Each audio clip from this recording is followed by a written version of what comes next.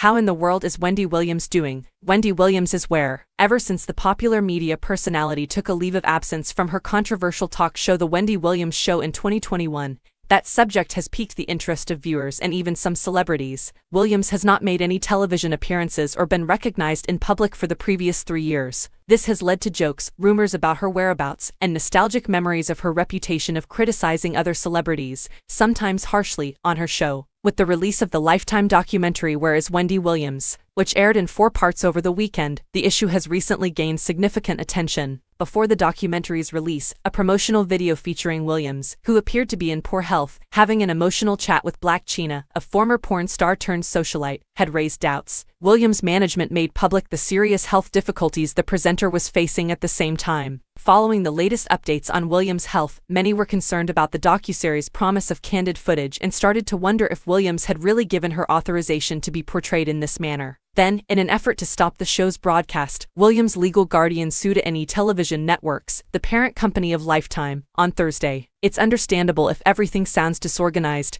disturbing, and challenging to follow. Let's analyze the information we currently have regarding Wendy Williams. The documentary series follows Williams's battles with alcoholism and health issues over the course of over two years, mostly following a 2022 court-ordered financial guardianship. Prior to the documentary's release, Williams' team revealed that the talk show Phenom had been diagnosed with frontotemporal dementia and aphasia, two language disorders that impact communication. This most recent health update follows Williams' revelation in 2018 that she has battled the autoimmune condition Graves' disease for a number of years. In 2019, Williams made that revelation.